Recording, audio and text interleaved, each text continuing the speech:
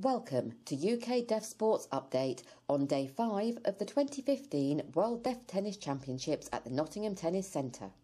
Today, Issa Hayat ensured that there would be a medal for a British player when he reached the boys' singles final. Other matches decided today were the men's and women's doubles finalists and the mixed doubles finalists.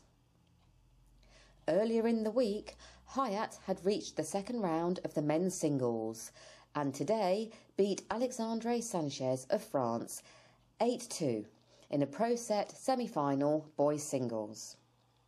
The 13-year-old from Finchley in North London will play Germany's Johann Baer at Saturday's finals as he bids to win the World Deaf Youth Tennis Championships boys title.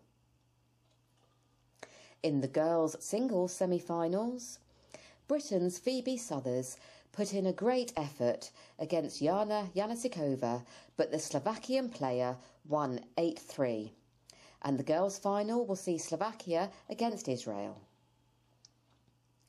In the men's and women's singles semi-finals, scheduled for Saturday, the sixth day of play here in Nottingham, and the men's doubles finals will be contested by the second seeds from France and the third seeds from Austria. In the semi-final, Laurent and Novelli of France beat the Australian fourth seeds 6-1, 6-4. The third seeds, Gravogel and Cargill of Austria, beat the unseeded American opponents 5-7, 6-1, 6-2 and will play the French pair for the gold medal. In the women's doubles and mixed doubles finals, Germany's Heike Albrecht had to bow out. The multi-European and Deaflympic winning doubles medalist retired from the women's doubles semi-finals with an injury. When Albrecht retired, the American top seeds Laura Chapman and Emily Hangsteffer were a set and a break ahead of their German opponents. Ho and Lin won the semi-final against Spain's Villamandos sisters 6-4, 6-2 and the American duo will play the second seeds Ho and Lin of Chinese Taipei in the final.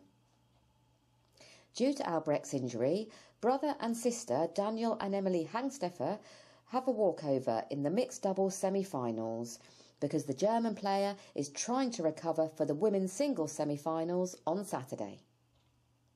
For results of all matches, please see the web address at the bottom of your screen. UK Deaf Sport would like to thank Deaf Direct and the Tennis Foundation for their support in producing this clip.